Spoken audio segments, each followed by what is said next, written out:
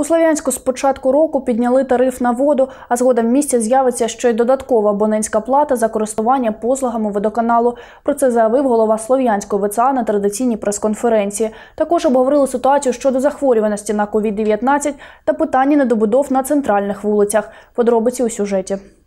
У Слов'янську з початку року підвищився тариф на воду та водовідведення. Також планувалось введення абонентської плати за послуги Словміськводоканалу Але поки що останню нараховувати не будуть. Э, Сегодня провел совещание и рекомендовал водоканалу, соответственно, сегодня это будет все выполнено, отменить тариф на э, абонплату, э, поработать в этом направлении более детально. Я понимаю, что положение водоканала сложное, э, и с 1 января э, сегодня города начинают вводить эту абонплату, но считаю, пока э, с- и повышение тарифа, и абонплата будет слишком большой нагрузки. У жителей сегодня ситуация тоже не лучше, чем у водоканала. Попередньо очікувалось, що водоканал за рахунок абонплати щомісяця буде отримувати близько мільйона гривень.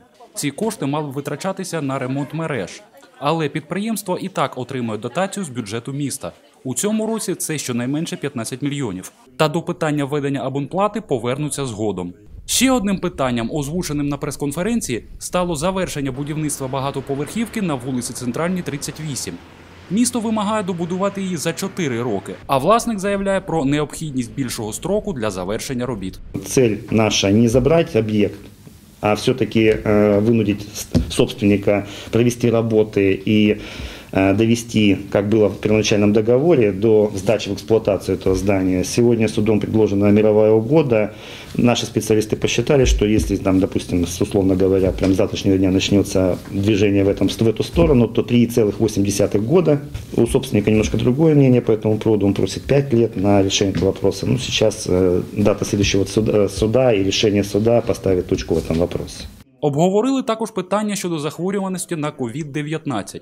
У місті зараз хворіють 182 особи, 5 з яких діти. Взагалі, за першу декаду січня у нас виявлено 51 новий випадок коронавірусної інфекції. Під наглядом сімейних лікарів перебувають 235 контактних осіб. Станом на сьогоднішній день у нас на ліжках інфекційного госпіталю перебуває 29 пацієнтів, і ще 5 пацієнтів лікуються з приводу пневмонії у терапевтичних відділеннях міської лікарні номер 1 Та не дивлячись на зниження рівня захворюваності, фахівці наполягають на дотриманні карантинних норм, адже в окремих регіонах України вже фіксується зростання кількості хворих на COVID-19.